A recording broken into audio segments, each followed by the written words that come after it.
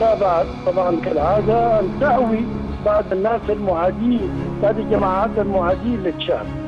وهكذا في شخصيات معروفة بعداوتها